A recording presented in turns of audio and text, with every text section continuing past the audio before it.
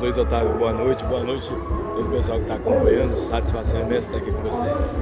Bom, Gostaria que vocês falassem pra gente um pouco de como que está aí a carreira do Mike Lian, né, com trilha sonora na novela aí de grande audiência em todo o país. Isso aí já dá uma alavancada na carreira também, né? Opa, tudo bem, Luiz Otávio? Oi, gente. Bom, sem dúvida a gente está muito feliz, né, meu irmão, nesse momento. É, fomos agraciados aí em ter a nossa música na trilha sonora da novela Pantanal.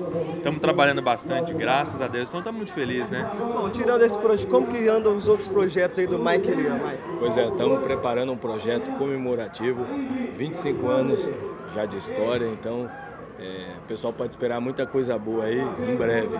Bom, a gente acompanhava vocês aí desde pequeno lá no programa do Raul Gil. O povo de Alto Garças lembra muito disso sempre quando a gente fala deste, de vocês, né?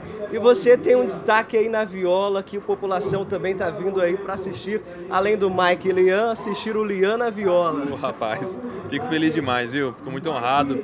É, já tenho um trabalho, como o Mike falou, já são 20, 25 anos de história, então é só agradecer mesmo o carinho de todo mundo aí. E o que, é que o pessoal pode esperar do show de vocês na noite show? Ó, vai ter um show de viola, muita moda sertaneja, as nossas músicas, os grandes clássicos.